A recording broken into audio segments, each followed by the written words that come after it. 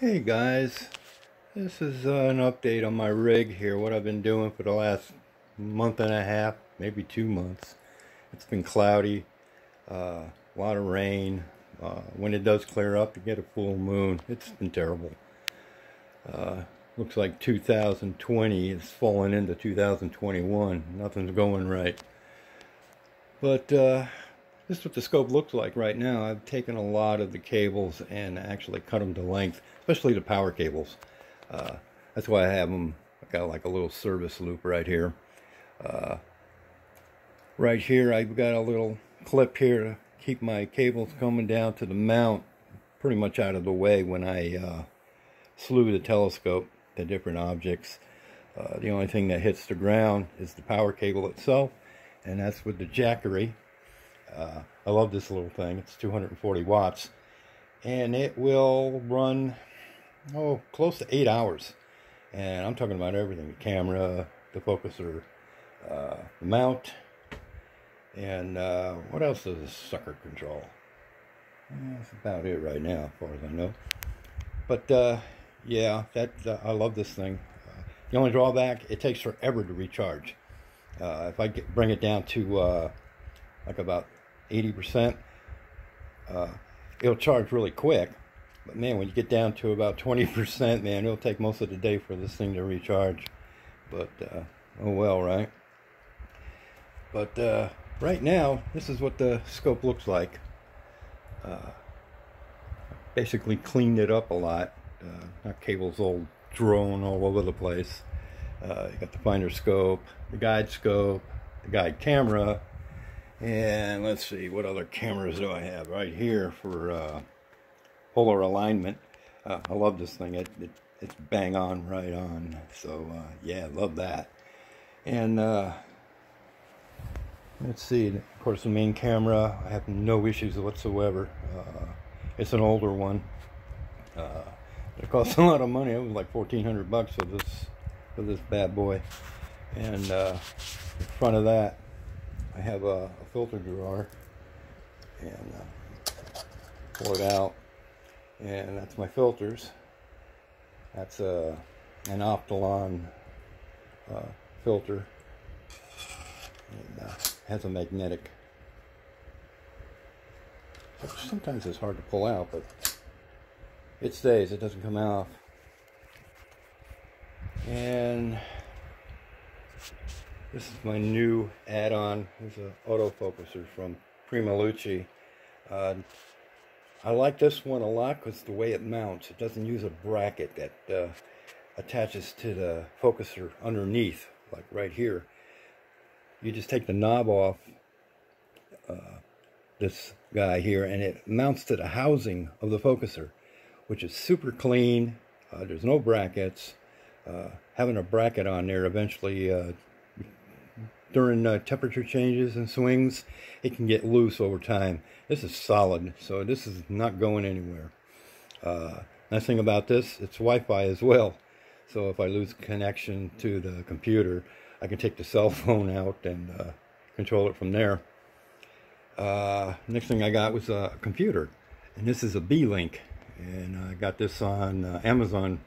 I think I paid uh, 249 for this uh, has Windows 10 Home, uh, has four USB 3 ports. Uh, the processor uh, is 1.9 and it goes to 2.2 boost, which uh, 1.9 is fine for what this thing is going to do. Uh, has 30, or let me think here, 4 gigs of memory, which is, again, that's all I need. 256 gigabytes of storage and it has a place for another 256 on those mini uh, uh, USB I think that's what they're called. But uh, there's two more ports right there. And uh, yeah it only uses 12 volts so I have it hooked up to uh, my power box back here which is this top one. And uh, yeah, this has uh, been working out really, really well. Uh, had some issues with uh, with the mount. Uh, first one was uh, the circuit board behind this cover. Um, for whatever reason, after about six months of use, uh, when I plugged in my handset, I had no power. And I couldn't understand why. I called, or didn't call, but uh, emailed Skywatcher to see how much a new uh, circuit board costs, because you can't find a schematic on this. And uh, they said $200 plus shipping. So I said, okay. And I thought, well, fuck. I'm really good in electronics, so I took this sucker apart. And uh, cool thing about it, it, from the power lead, there's a direct uh, connection from here to pin 8 on uh, the handset, but it goes through a fuse first. Well, I was reading good all the way past the fuse. The fuse is okay. And when I hit the pin, uh, I wasn't reading anything. So I started moving the pin around, and sure as shit, I was getting connections off and on. So I just took my soldering iron out and reflowed the solder, and this thing's been working great ever since. So saved myself 200 bucks. Uh, the next thing I wasn't happy with with the mount was uh, it had too much slop in right ascension. Uh, the gear and uh, the worm were too far apart, and that should have been caught uh, during production in quality. But uh, it's no big deal. I wish they had caught it, but they didn't. So what I'd have to do was take these two screws, just loosen them, and there's two more down here. Loosen those, and I have a grub screw here, which is a three millimeter, and I got another one underneath. But all I had to do was tighten this down and uh, lock these guys down, and then uh, actually uh, rotate them out to make sure the gears didn't bind. And uh, I got that uh, worked out, and uh, it's fine. Next thing I'm not really thrilled about is um, these handles. Why they cut them into angles is beyond me. They're a pain in the ass to use, and sometimes you need two hands just to tighten down. Why they could not make that round is beyond me. So I might uh, fill the, the gaps with uh, some kind of epoxy and make it round, sand it, and repaint it. Make life a little easier. In fact, it's going to look similar to this. That's what should be down here. Uh, my next issue with the mount. And uh, you can see it's still not quite where I want it.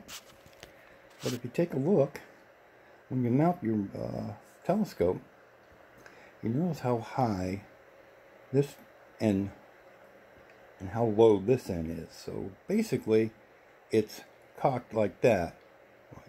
if I can make it, there we go. And uh, you spend all this time uh, leveling the tripod and the mount and polar align, and you find out that your your scope itself is kind of on an axis. Now, a lot of people say it doesn't matter since you're polar aligned uh, with the telescope, and I'm thinking, no, no, no, uh, because this here and here uh, represents almost uh, a, a, full degree. And uh, over time, when I start taking anything over a 10 minute exposure, I get drifting and I get it bad.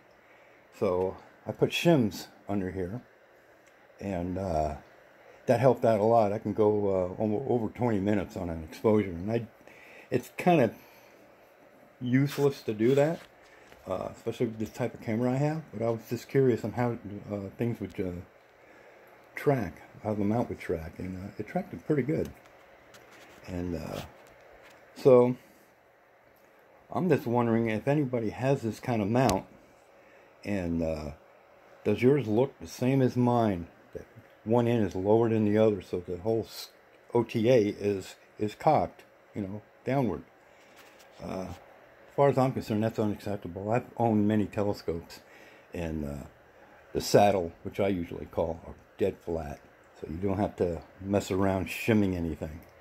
But uh, yeah, if you own one of these, and it's a EQ6R Pro from Skywatcher, uh, let me know if you have the same problem. Uh, that should not be there. That should be level. And uh, so we'll, we'll see. But uh, that's what I've been doing on these cloudy days. in weeks and months. Uh, I think I've had it out only once, and uh, and it was only for uh, about two hours. Then the clouds came in again, so uh, put all this money into it, and I can't use it. Because right now what you see here is close to seven grand, and uh, I like to use it, you know, every now and then, not once every three months, but uh, that's the hobby I chose, and uh, have a new laptop. Nice thing about this, uh, it came with the keyboard, so that that's pretty nice. And I paid uh, just under 300 for this, and uh,